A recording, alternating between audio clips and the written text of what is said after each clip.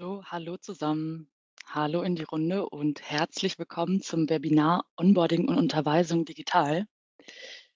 Ich freue mich, dass Sie dabei sind. Ich freue mich, dass das Thema Video und ressourcenschonendes Arbeiten zum Onboarding und zur Unterweisung bei Ihnen ähm, Platz findet und ähm, dass wir heute jetzt zusammen in der Runde einmal die halbe Stunde haben, um uns eben auszutauschen beziehungsweise uns bestimmte Möglichkeiten und Werkzeuge anzuschauen, wie wir eben für eine möglichst gute Onboarding-Erfahrung in OrgaVision beziehungsweise auch in ihrer Organisation, aber eben auch für mehr Effizienz bei regelmäßigen Unterweisungen. Und ich denke, das betrifft Sie alle, ja, sorgen können.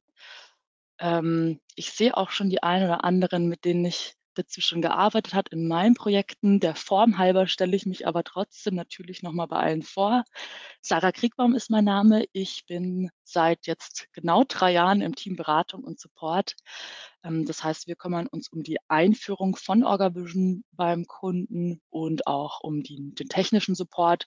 Und an beiden Stellen kommt dieses Thema Videoproduktion und sozusagen auch Reproduktion von Wissen und Verteilung von Wissen in Form von Videos ganz oft zum Tragen.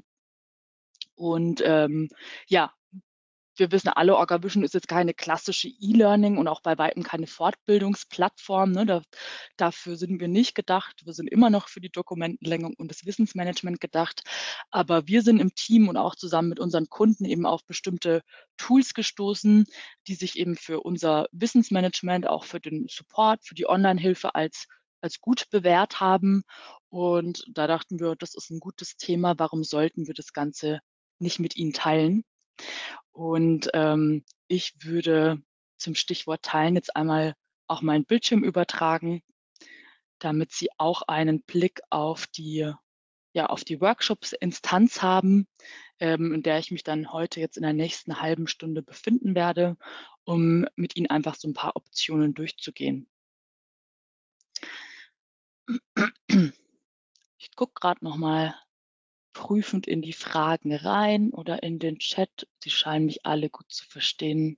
Das ist schon mal sehr schön. Genau. Ähm, Sie müssen sich auch gar nirgends einloggen. Sie können einfach hier äh, dem Bildschirm folgen, den ich hier übertrage. Und Sie haben aber dann bei sich in den Unterlagen, das müssten Sie hier ähm, in Ihrem GoToWebinar-Reiter finden, eine Datei drin. Das ist sozusagen mein Handout für, die, für das heutige Webinar.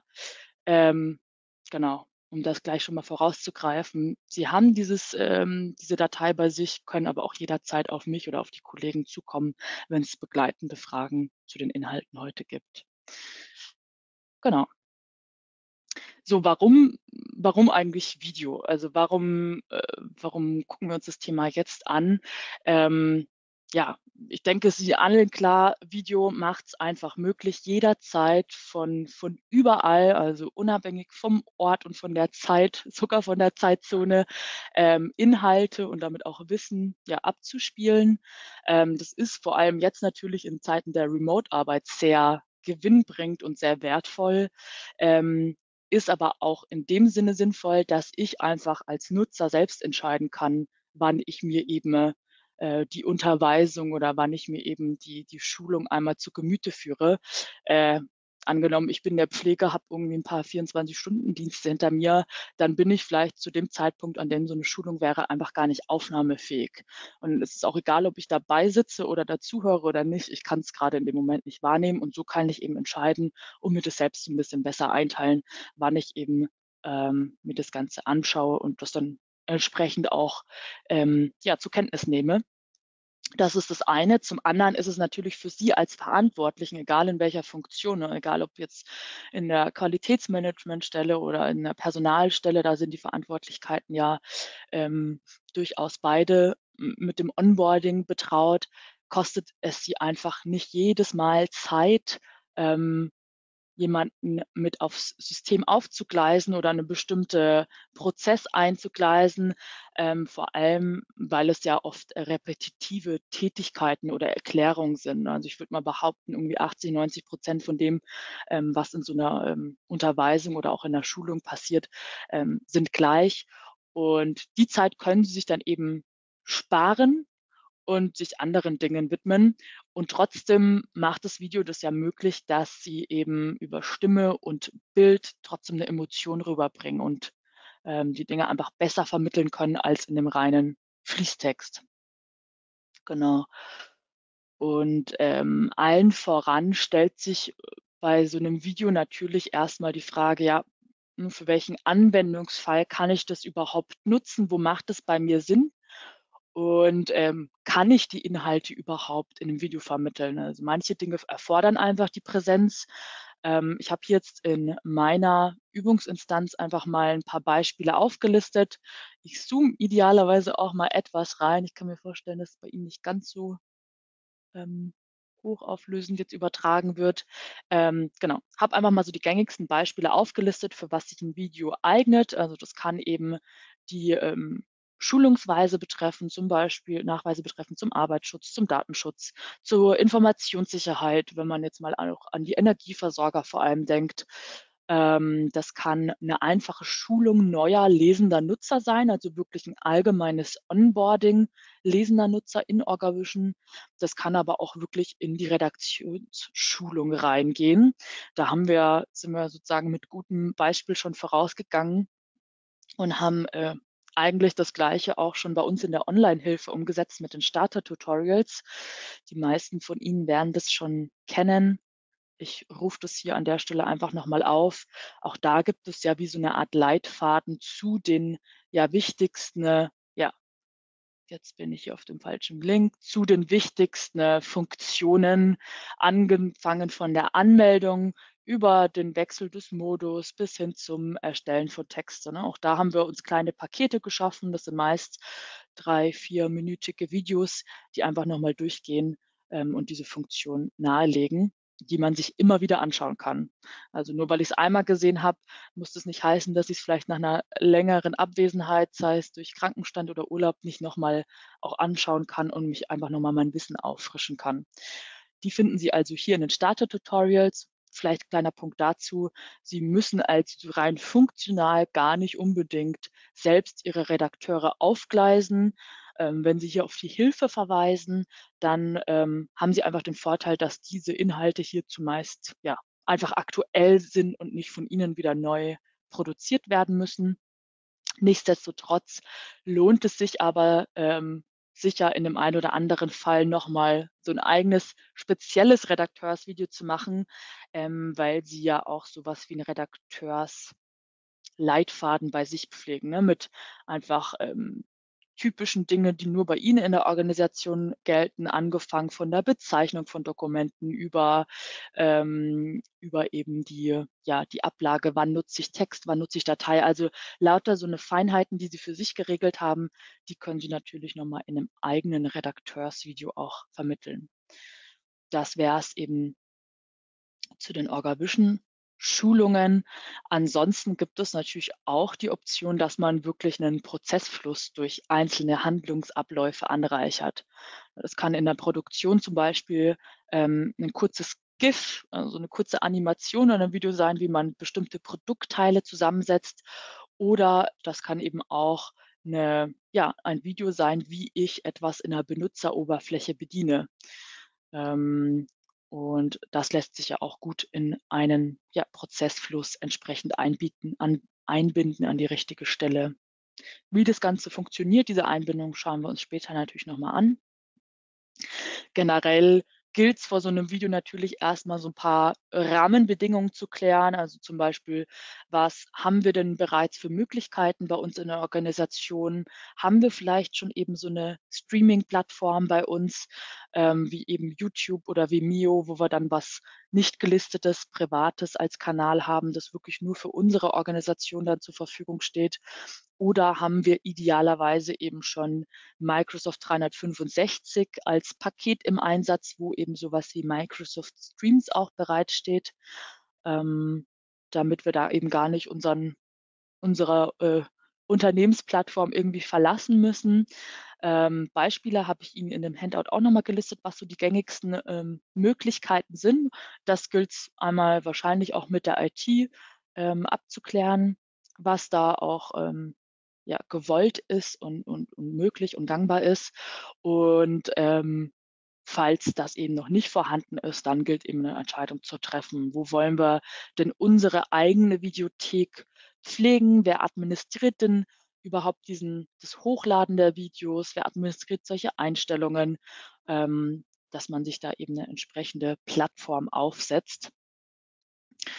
Und ähm, dann, ja, kann man eigentlich im Grunde schon mal mit so einer Art ja, Konzept losstarten und sich zu einem Video überlegen, ähm, wen möchte ich denn da überhaupt ansprechen? Also wer ist meine Zielgruppe in dem Video?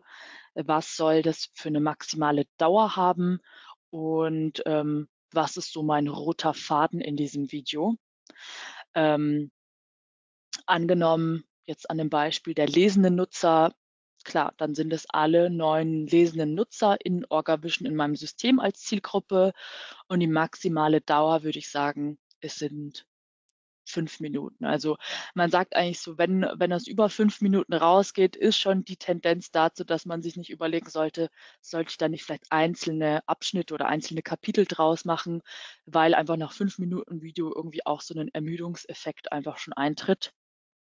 Und was man aber dazu sagen kann, dass so eine, eine lesende Nutzerschulung für OrgaVision innerhalb von fünf Minuten sehr gut, sehr gut abdeckbar ist.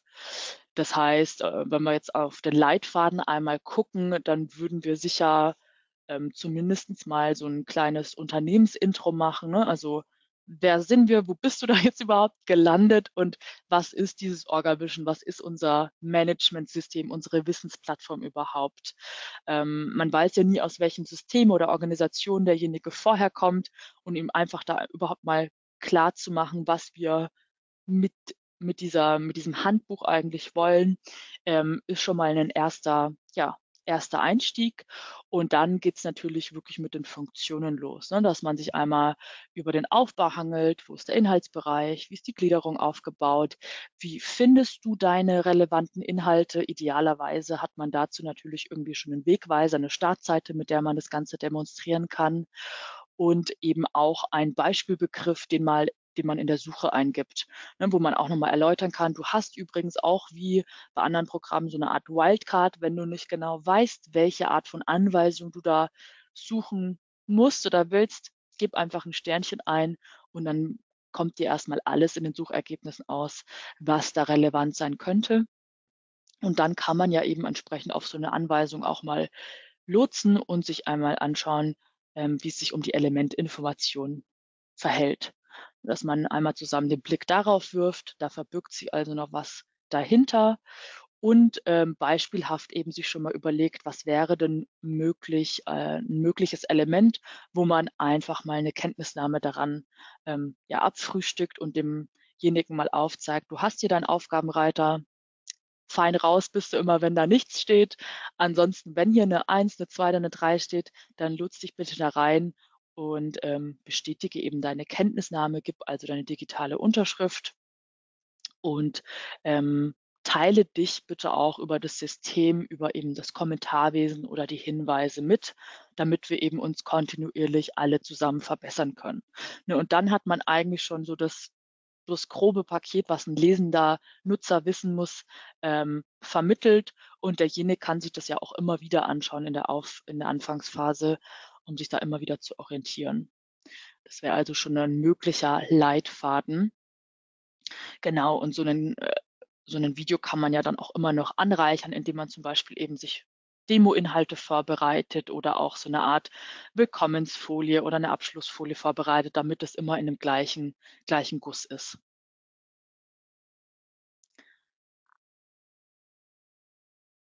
So, ich gucke mal ganz kurz in die Fragen. Genau, weil der Video die Frage nach dem Hochladen oder dem Upload des Videos kam, da kommen wir jetzt einmal drauf, ähm, wie man sowas machen kann.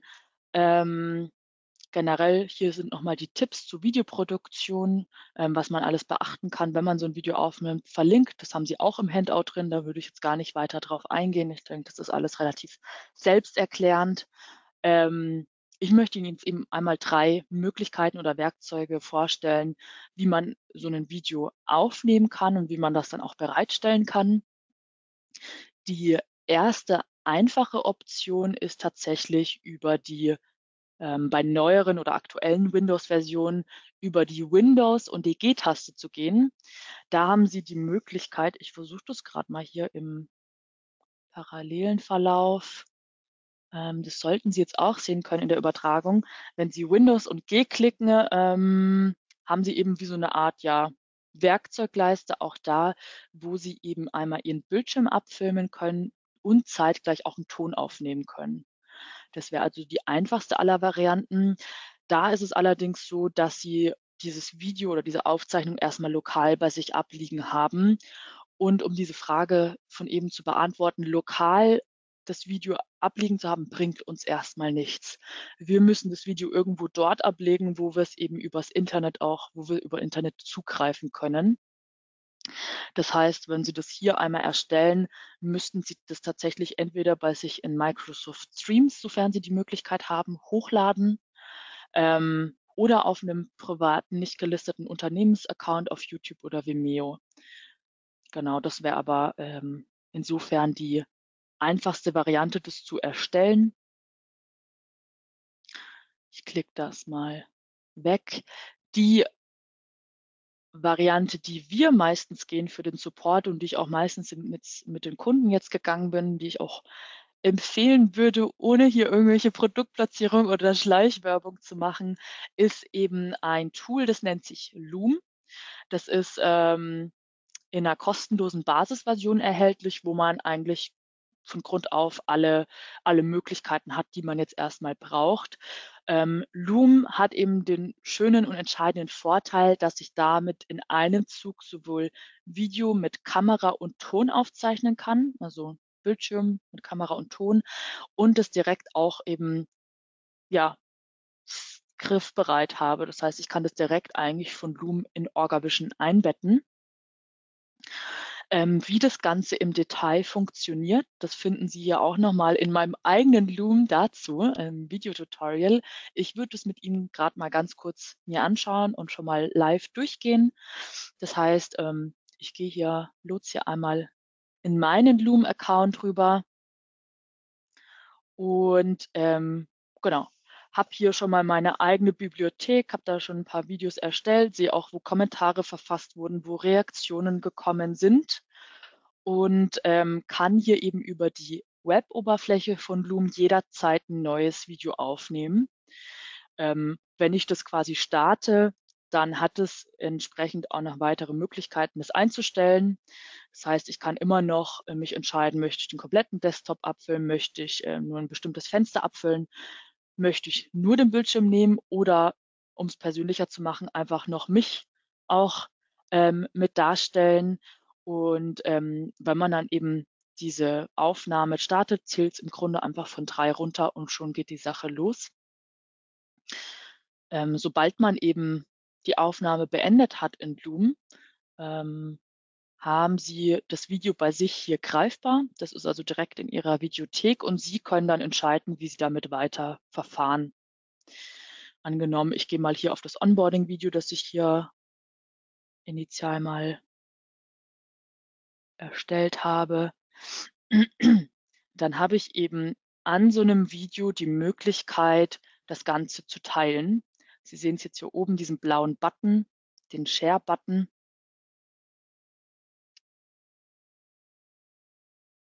Und wenn ich das Ganze eben einmal sharen möchte, das, dann interessiert uns in dem Fall nur diese dritte Option, diese letzte Option, und zwar empt, also eingebettet. Und dann ist es tatsächlich so, dass wir eigentlich uns gar nicht weiter damit beschäftigen müssen. Das hat hier schon eine Grundeinstellung, dass es responsiv ist. Das heißt, dass sich dieses Video letztendlich dann später automatisch dem verfügbaren Platz anpasst.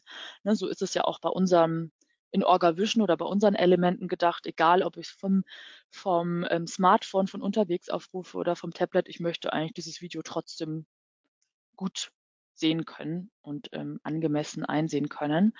Von daher müssen wir da gar nichts mehr umstellen, sondern können uns eben hier einfach diesen Copy-Empt-Code, also diesen Schnipsel, diesen Einbettungscode einmal in unsere Zwischenablage holen.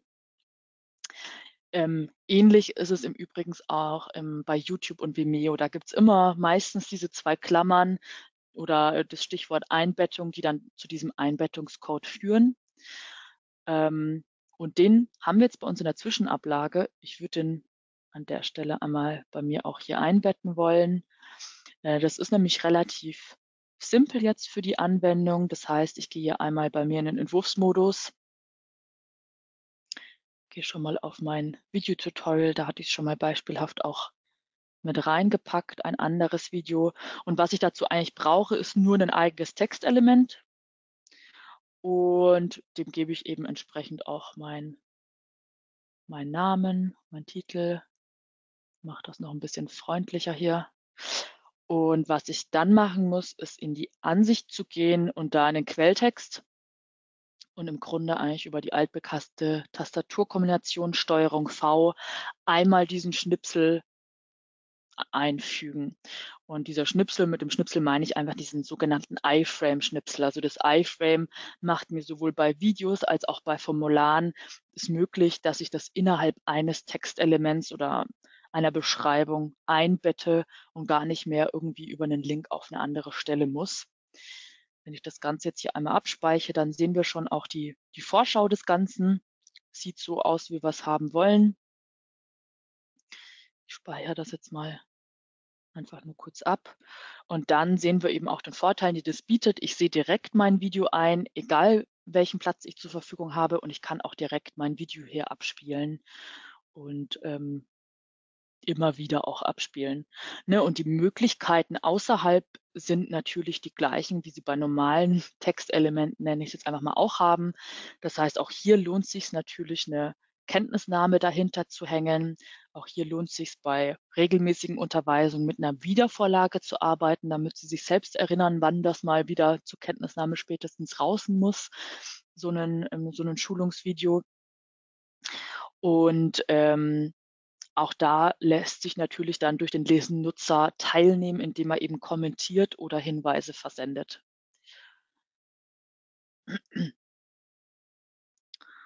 Und ähm, so ein Video möchte man ja vor allem dann jetzt in dem Fall des Onboardings neuen Mitarbeitenden zur Verfügung stellen. Ähm, da dieses ganze Konzept nachträgliche Kenntnisnahmen zu ähm, auszulösen und auch zu reduzieren, ein bisschen den Rahmen sprengt für heute, habe ich Ihnen einmal den Link zu unserer Online-Hilfe, zu unserer Anwender Anwenderdokumentation hier ins Handout mit reingepackt.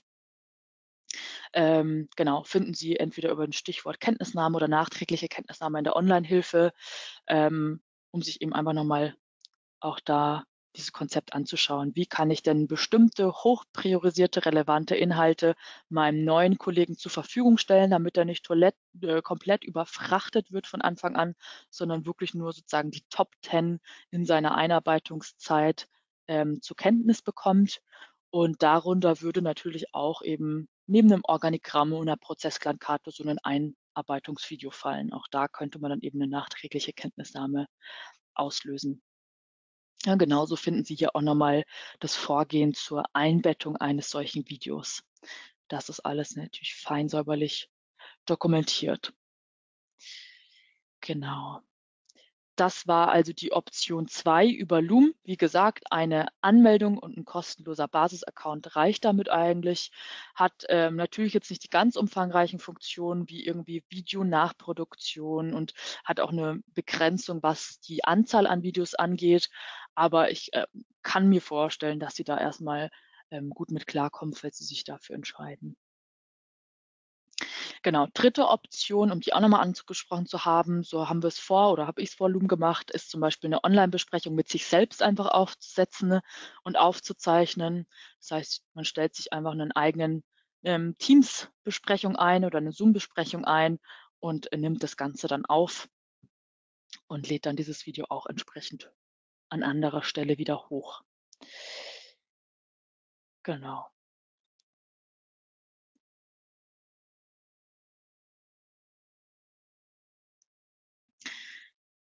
Das wäre es soweit zur Videoproduktion. Ich zeige Ihnen nochmal die Beispiele hier unten in dem Tutorial. Da sehen wir nämlich zum Beispiel auch die, die Einbindung in den Prozessfluss.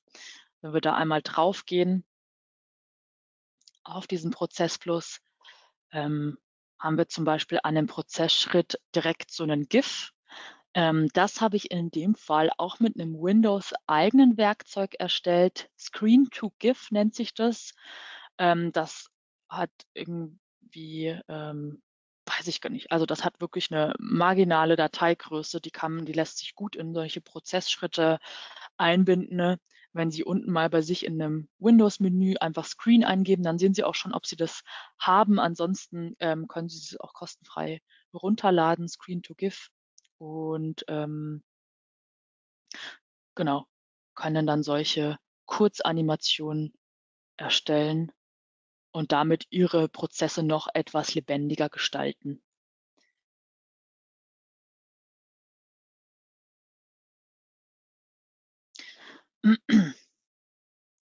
So, jetzt die spannende Frage für unsere letzten Minuten. Wie können wir denn das Verständnis über Videoinhalte überhaupt abprüfen? Ähm, die Frage wird mir auch äh, oft gestellt, wenn wir dann eben an so ein Thema rangehen, ähm, wo ich meistens ganz trocken antworte, es kann auch sein, dass der oder diejenige in der Präsenz Präsenzschulung sitzt und auch äh, geistig gerade einfach abwesend oder ne, einfach äh, ganz abwesend ist oder nicht zuhört. Das kann man nie so wirklich sicherstellen. Wenn man es irgendwie sicherstellen möchte, dann muss man es eben durch bestimmte Übungen im Anschluss oder durch ein bestimmtes Quiz abprüfen. Ähm, und das lässt sich jetzt anhand von Schulungen in Orgavision relativ leicht machen, indem man eben ähm, ja, lesenden Nutzern einfach so ein paar Übungsaufgaben schon mitgibt, lässt sich aber natürlich auch etwas umfangreicher für die Redakteure gestalten, indem man eben einen Übungsordner erstellt und ähm, ich habe das hier mal beispielhaft gemacht und denen eben kleine Pakete mit an die Hand gibt. Ne? Das heißt, man kann auch so einen Übungsordner natürlich dann mit einer, mit einer Kenntnisnahme ausstatten ähm, und hier in kleinen Paketen einmal äh, den neuen Kollegen, den neuen Redakteur darum bitten, sich eben einen eigenen Ordner im Übungsbereich zu erstellen, mit einem eigenen Textelement, eine Vorlage zu wählen, einen Verweis zu nutzen und ähm, eine Datei hochzuladen und zu überarbeiten und das Ganze nochmal zu veröffentlichen und sozusagen als Nachweis dann einen Hinweis ähm, letztendlich an die Leitung oder an den Qualitätsmanagementbeauftragten zu schicken, sodass man so diese grundlegendsten Funktionen, die ein Redakteur können muss, wie das Bearbeiten, Erstellen von Texten, das Überarbeiten von Dateien, das Sortieren von Inhalten, dass man das einfach schon mal in so einer Art ja, Mini-Bootcamp abgefrühstückt hat. Das wäre also die eine Variante, wenn es jetzt um, um eine Oberfläche geht oder um Orgavision geht. Und die andere Variante, die ist eben ähm, wieder so ein bisschen davon abhängig, was Sie bereits äh, bei sich im Unternehmen ähm, haben als Möglichkeiten. Wir selbst im Support und auch in der Beratung, wir greifen eben, weil wir die 365er, äh, das 365er Paket im Einsatz haben, auf Microsoft Forms zurück. Auch hier wieder Stichwort, habe ich nochmal ein ähm, eigenes Videotutorial für Sie eingebunden, wo Sie sich das nochmal genauer anschauen können. Es gibt aber neben Microsoft Forms ähm, auch weitere andere kostenlose Quiz-Tools, um eben solche Abfragen zu machen. Ähm, ich schaue hier gerade mal auf Microsoft Forms mit Ihnen drauf. Da lässt sich also relativ schnell ein eigenes Quiz erstellen. Das heißt, wir haben hier mögliche, ähm, alle möglichen flexiblen ähm, ja, Antwortmöglichkeiten. Wir können bestimmte Filter dahinterlegen. Wir können eben bestimmte ähm, ja, Pflichten dahinter legen, hinter solche Fragen und können da relativ schnell eben so einen Quiz aufbauen und auch erweitern. Ich mache das jetzt an dem Beispiel mal. Und ähm, das Schöne ist eben, dass wir ähm, dieses, auch dieses Quiz eben entsprechend einbetten können. Ich zeige Ihnen das mal anhand einer Abfrage, die ich tatsächlich gemacht habe zu unserem Musterhandbuch. Das ist relativ also ein bisschen umfangreicher, auch mit verschiedenen Antwortmöglichkeiten.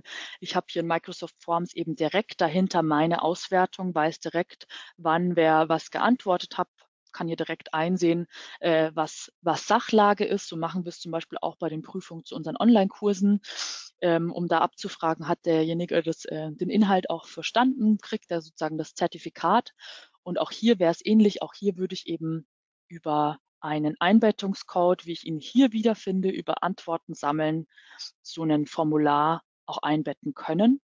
Ich mache das gerade nochmal, kopiere mir also wieder einfach diesen Schnipsel ganz unbedarft sozusagen raus und ähm, genau, gehe hier einmal unter mein Onboarding-Video, erstelle mir wieder ein neues Textelement, sage, das ist meine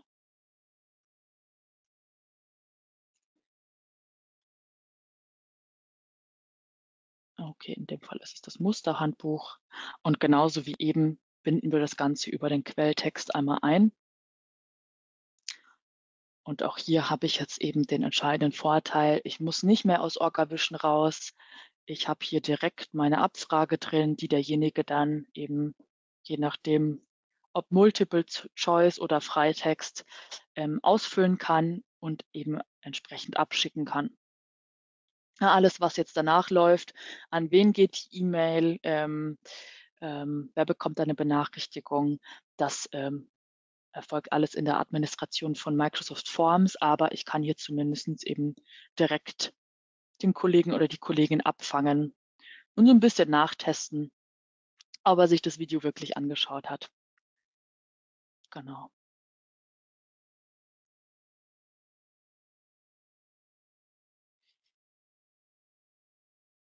Okay. Das war ein ja, kompakter Einblick in die Möglichkeiten, die so eine ähm, Videoproduktion und eine Einbindung von Videos und auch von, von Formularen in OrgaVision bietet. Ähm, ich gucke gerade noch mal, wir sind etwas über der Zeit in die, in die Fragen rein, damit ich vielleicht das ein oder andere noch mal live beantworten kann. Ähm,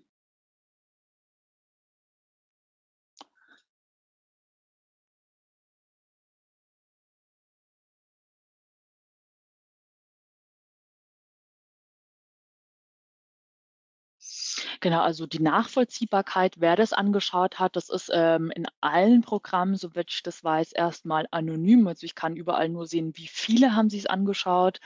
Ähm, wenn die äh, Kollegen aber keinen eigenen Account in keinen persönlichen Account in, in, YouTube oder in Vimeo oder Loom haben, dann sehe ich auch nicht, wer hat sich es genau angeschaut. Ähm, das kann man auch einstellen, wenn man das möchte. Ähm, ich würde da aber eben nicht auf die, wahrscheinlich nicht auf die Views in den Kanälen, also in den Plattformen vertrauen, sondern wirklich mit der Kenntnisnahme in OrgaVision arbeiten, um das irgendwie nachzuvollziehen. Genau auf die Testinstanz ähm, können Sie hier erstmal nicht zugreifen. Wenn Sie die Datei bei sich nicht im Chat finden, in den Unterlagen kann ich die auch gerne im Nachgang nochmal zur Verfügung stellen oder gerade auch nochmal live einstellen in unsere Unterlagen.